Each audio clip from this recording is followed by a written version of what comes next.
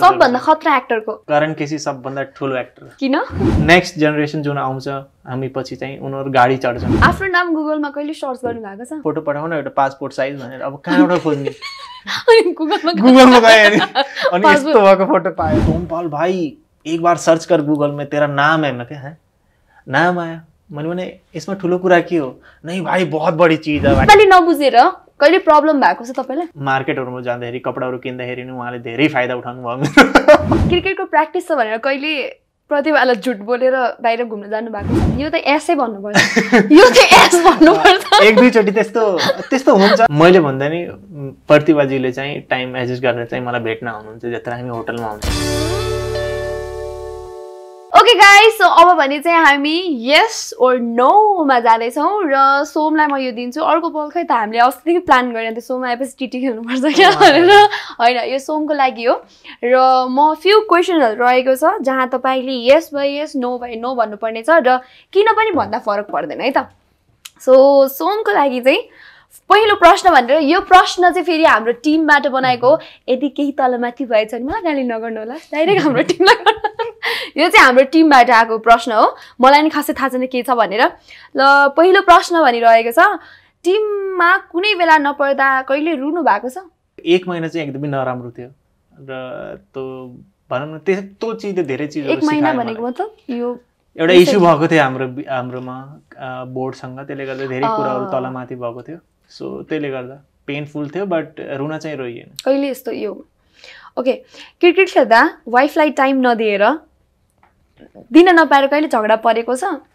यो त एसै भन्नुपर्छ। यो त एस भन्नुपर्छ। एक दुईचोटि त्यस्तो त्यस्तो हुन्छ र मलाई के लाग्छ नि त्यो रिलेसनमा इम्पोर्टेन्ट छ जतिखेर कि तपाईँ सँगै हुनुहुन्छ हजुर एउटा रिलेसनमा बन्दिसकेपछि पनि हजुरलाई जतिखेर त हजुरको पार्टनरले भन्नुहोस् कि टाइम अहिले इनफ छैन। द्याट्स गुड गुड इनफ र मलाई चाहिँ एकदमै खुसी लाग्छ कि उसलाई अझै माया लाग्छ मेरो भन्ने कुरा। ओके क्रिकेटलाई लिएर कहिले तपाईँले त्यो विश्वासवाला कुनै हुन्छ नि। अन्धविश्वास टाइपको केही छ तपाईँले केही बिलिफ छ? अभियसली छ।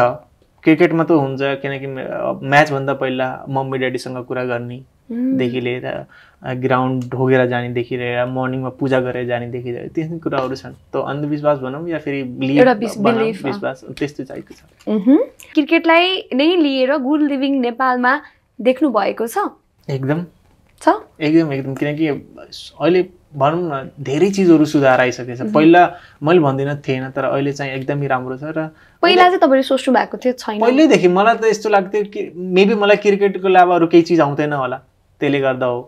तर मलाई त जहिलेदेखि लाग्थ्यो कि हामीले क्रिकेटमा अझै राम्रो गर्न सकिन्छ र आई होप नेक्स्ट जेनेरेसन जुन आउँछ हामी पछि चाहिँ उनीहरू गाडी चढ्छन्।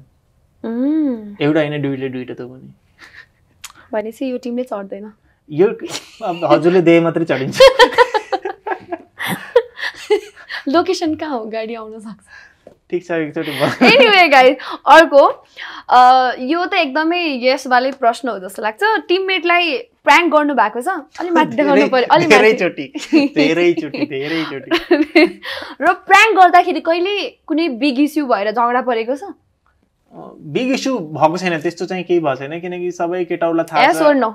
यस अलिक माथि गर्नु पर्यो। यस इस्यु चाहिँ भएको छैन नो होइन? तर प्र्याङ्कहरू चाहिँ टन्नै भएको छ। र हाम्रो टिममा सबै एक्टरहरू छन् एक नम्बरको एक्टर्सहरू। एक नम्बरको एक्टर सबभन्दा खतरा एक्टरको करण केसी सबभन्दा ठुलो एक्टर किन?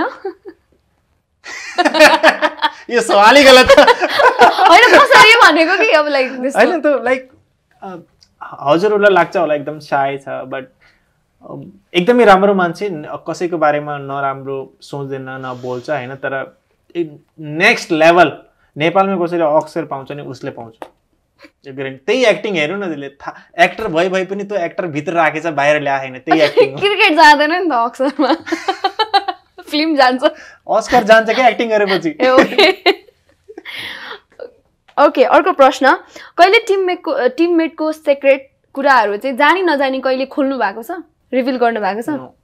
नेभर कहिले गर्ने पनि होइन। दोस्ती हाम्रो त्यस्तो राम्रो। हजुर। ओके क्रिकेटको प्र्याक्टिस छ भनेर कहिले प्रतिभालाई झुट बोलेर बाहिर घुम्न जानु भएको छ? पागल। ओके तर क्रिकेटको प्र्याक्टिस छ भनेर कसैलाई झुट बोलेर घरमै बस्नु भएको छ? नि त्यस्तो पनि छैन किनकि अब क्रिकेटको प्र्याक्टिस हामीले एभ्री डे? एभ्री डे गर्ने हो। एभ्री डे गर्ने हो त्यसले गर्दा चाहिँ टाइम हामीले चाहिँ म्यानेज कसरी गर्ने आफ्नो फ्यामिलीको लागि हुन्छ होइन? र अब धेरै जस्तो मैले भन्दा नि प्रतिभाजीले चाहिँ टाइम एडजस्ट गरेर चाहिँ मलाई भेट्न आउनुहुन्छ जत्र हामी होटलमा हुन्छौँ। र एक दुईचोटि त हजुर पनि आउनुहुन्छ त्यसको लागि धन्यवाद। म साथी भनेर आइदिएँ। मैले के भने? हजुर। आफ्नो नाम गुगलमा कहिले सर्च गर्नु भएको छ? गरिहाल्छु नि। गरिहाल्छु नि किन नगर्ने? के पाउनु भएको थियो? ओके अहिले त गर्नु भन्दैन होला। पहिला पहिला गर्दाखेरि चाहिँ के हुनुहुन्थ्यो अहिले पनि गर्नुहुन्छ कि नै? अहिले चाहिँ गर्दैन। पहिला चाहिँ अहिले चाहिँ के अब फोटोहरू चाहिएको बेला चाहिँ अब जस्तै हिजो हिजो चाहिँ विनोद दाईले भन्दै हुनुहुन्छ बाबु फोटो पठाउन एउटा पासपोर्ट साइज भनेर। अब कहाँबाट खोज्ने? गुगलमा गयो। अनि यस्तो भएको फोटो पायो। बाबु सिधावाला अब सिधावाला थिएन उसमा। त्यसले गर्दा चाहिँ गरेको इन्टरभ्यू सकेपछि हाम्रो एउटा फोटो खिच्दै। Passport size. अनि त्यो इन्डियामा इन्डियामा मेरो साथीहरू छ नि त टन्नै। अनि उनीहरूले चाहिँ सर्च गरेर हेर्छ कि सोमपाल कामी भनेर। अनि उनीहरूले चाहिँ भने सोमपाल भाई एक बार सर्च कर गूगल में तेरा नाम है. मैं क्या है? नाम आया. मैले भने यसमा ठुलो कुरा के हो? नै भाइ बहुत बढी चिज है भाइ बढी चिज नि त्यसले गरेको थिएँ। युट्युबमा चाहिँ गर्छु। ओके बुवा आमाको खल्तीबाट कहिले पैसा चोर्नु भएको छ? प्रतिभाको खल्तीबाट दुइटैको खल्तीबाट चोरेछु। थाहा भयो कि नथाहा थाहा छ कि थाहा छैन उहाँहरूलाई पापाले धेरैचोटि पिटाइ पनि गरिसक्नु भयो तर प्रतिवाला चाहिँ थाहा? भए पनि भन्दैन उसले। किनकि त मेरै पैसा त राखेर हुन्छ ओके कहिले आफ्नो जर्सी कसैलाई दिएर रिग्रेट गर्नु भएको छ? नै। किनकि No.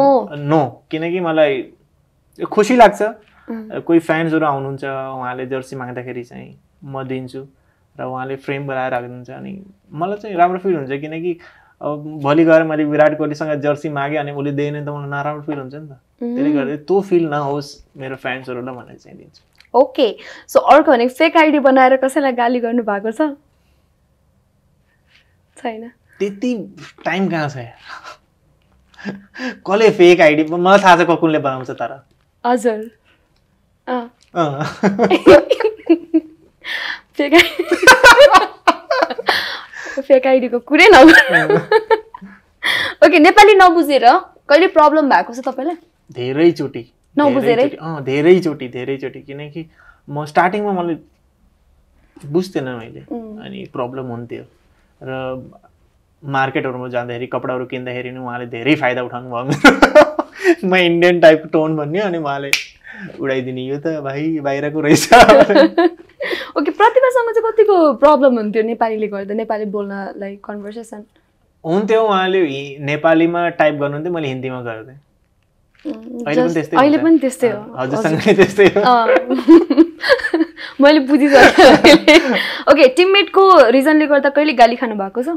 धेरैचोटि जस्तै? जस्तै लाइक एकदमै भन्न मिल्ने रिजन चाहिँ? रिजन भन्ने रिजनै हुँदैन नि त गाली? खाएको। गाली खाएको रिजन हुँदैन जस्तै अरूको गल्तीले गर्दा गाली खानु परिदिएको त्यस्तो कुनै? होइन अब टिममेट्स हुँदाखेरि हामी खेल्दाखेरि चाहिँ गल्ती सबैको एउटै भयो नि त। त्यो बाहेक खेल्नु बाहेक के कहिले काहीँ अब होटलकै कुराहरूमा कहिले के गर्दा यता त्यस्तो त गरिए छैन किनकि जसले गल्ती गर्छ त्यसैले हामीले गल्ती गाली दिन्छौँ घेरेर। त्यो पनि सिनियर भइसक्यो सिनियर होइन जुनियरले दिन्छन् उनीहरू। हामीले सिनियरले लहर मात्रै जाने हो